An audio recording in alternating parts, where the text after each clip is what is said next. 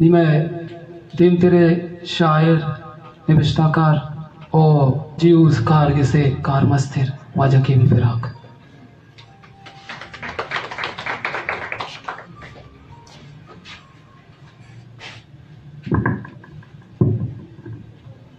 नज्म नाम है मुझे शाही बाज़ार में रहने दे। ये वाबे ये लाशौरी अस्ते बाबूश तितरानगी इबारत चाहिए मुझे शाही बाज़ार में रहने दे अभी हबी वो सीमी तन हबी हबी हो सीमी तन बाल कूनी पर हाई तो वक्त के पैरे अजकुत प्रकार की सूरत दायरा दर दायरा फैल रहे थे और कहीं उस वक्त के नए नक्श में ऐसे सीमी तन की महकुन गलियारों से, कमल रूप की महकार पहनकर यूँ फैल रही थी कि, ऊपर किसी बालकोनी में आवाज़ आई बेटा, जरा सुन लें। जी, अम्मा। ये टोकरी लेकर कुछ चीज़ें शौकत की दुकान से लेकर भेजें। जी अच्छा क्या देखता हूँ कि पहनावा भी मुझसे गोया है और गाउन भी उस प्रीत नगर का मन बाता है। जब बालकूनी के नीचे गुजरता गुजरता, जब बालकूनी के नीचे गुजरता तो सामने पीरो जवां के मन बाता पर तो अक्सर देखे। और यूँ ही मैं कह उठता के अभी लाता हूँ।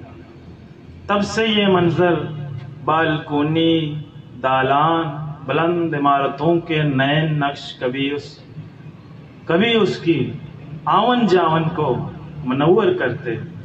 और मैं किसी कोने में दुबक कर बैठता हूँ, एक किस्सा गो की तरह। गोया होता हूँ, और इस बीच बाकियात में से जो कुछ इससे में आया किस्सापन जीने को। करीमो खूटल में लटकती पुरानी कंदील।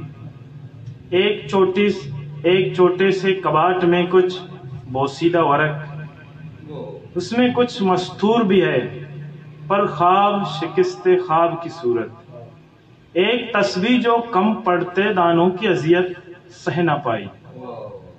सामने बैठे बेसित्र लबों से बेसमत नज़रों की तस्वीरों में खुद को खोज रहे थे।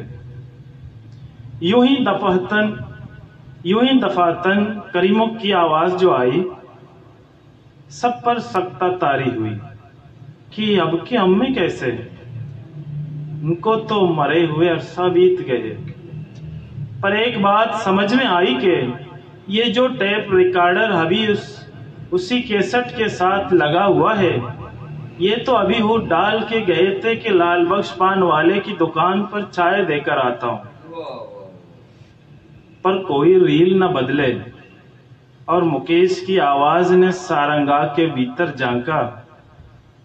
तो दाने भी साथ ही टूट गिरे और गफूर के चेहरे पर दुख की जालर, आड़ी तिरछी लकीर की सूरत और समावार का धुआँ पहनकर बरखुद जीने के एहसास को लेकर जाग रहा है।